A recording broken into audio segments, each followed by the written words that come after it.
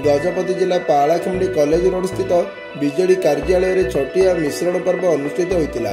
ଜିଲ୍ଲା ବିଜେଡି ସଭାପତି ପ୍ରଦୀପ କୁମାର ନାୟକ ଏବଂ ଜିଲ୍ଲା ବିଜେଡି ଯୁବ ସଭାପତି ଏସ୍ ଲିଙ୍ଗରାଜୁଙ୍କ ନେତୃତ୍ୱରେ ଏହି ମିଶ୍ରଣ ପର୍ବ ଆୟୋଜିତ ହୋଇଥିବା ବେଳେ ଗୋମା ବ୍ଲକ ଜିବା ପଞ୍ଚାୟତର ପଚିଶରୁ ଉର୍ଦ୍ଧ୍ୱ ବିଜେପି କର୍ମୀ ବିଜେଡିରେ ଯୋଗ ଦେଇଥିଲେ। ଆଗାମୀ ପଞ୍ଚାୟତ ନିର୍ବାଚନରେ ବିଜେଡିକୁ ମଜବୁତ ହେବ ବୋଲି ଜିଲ୍ଲା ସଭାପତି ଶ୍ରୀ ନାୟକ ସୂଚନା ପ୍ରଦାନ କରିଛନ୍ତି। ଏହି ଅବସରରେ ବିଜେଡିର ନେତାମାନେ ଉପସ୍ଥିତ ଥିଲେ।